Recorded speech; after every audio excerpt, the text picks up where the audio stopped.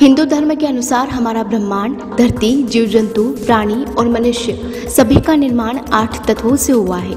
इन आठ तत्वों में से पाँच तत्वों को हम सभी जानते हैं। और जानते हैं पाँच तत्व क्या है। हिंदू धर्म के अनुसार इस ब्रह्मांड की उत्पत्ति क्रम इस प्रकार है।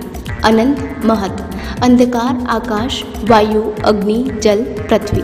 अनंत जिसे आत्मा कहते हैं। पृथ्वी, जल, वायु, अग्नि, आकाश, मन, बुद्धि और अहंकार। यह प्रकृति के आठ तत्व है। उक्त सभी की उत्पत्ति आत्मा या ब्रह्म की उपस्थिति के कारण है। पहला, पृथ्वी तत्व। इसे जड़ जगत का हिस्सा कहते हैं। हमारी देह जो दिखाई देती है, वह भी जड़ जगत का हिस्सा है और पृथ्वी भी। इसी से हमारा भौतिक शरीर बना है, लेकिन उसमें तब तक जान नहीं आ सकती जब तक कि अन्य तत्व उसका हिस्सा न बने। जिन तत्वों, धातुओं और अधातुओं से पृथ्वी बनी है, उन्हीं से यह हमारा शरीर भी बना है। दूसरा, जल तत्व। जल से ही जड़ जगत की उत्पत्ति हुई है। हमारे शरीर में लगभग 70 प्रतिशत जल विद्यमान है। उसी तरह, जिस तरह की धरती पर जल विद्यमान है, जितने भी तरल तत्व है जो शरीर और इस धरती में बह रहे हैं, वो सब जल तत्व ही है। चाहे वो पानी हो, खून हो, वसा हो, शरीर में बनने वाले सभी तरह के रस और एंजाइम हो। तीसरा, अग्नि तत्व। अग्नि से जल की उत्पत्ति मानी गई है। हमारे शरीर में अग्नि ऊर्जा के रूप में विद्यमान है।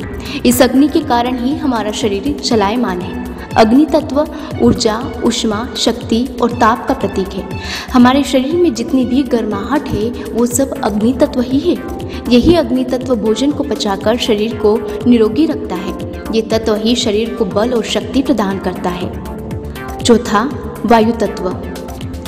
वायु के कारण ही अग्नि की उत्पत्ति मानी गई है। हमारे शरीर में वायु प्राणवायु के रूप में विद्यमान है। शरीर से वायु के बाहर निकल जाने से प्राण भी निकल जाते हैं। जितने भी प्राण हैं, वह सब वायु तत्व है। धरती भी श्वास ले रही है। वायु ही हमारी आयु भी है, जो हम सांस के रूप में हवा, ऑक्सीजन लेते हैं, जिससे हमारा होना निश्चित है, जिससे हमारा जीवन है, वही वायु तत्व है। पांचवा, आकाश तत्व। आकाश एक ऐसा तत्व है जिसमें पृथ्वी, जल, अग्नि और वायु विद्यमान है। यह आकाश ही हमारे भीतर आत्मा का वाहक है। इस तत्व को महसूस करने के लिए साधना की ज़रूरत है।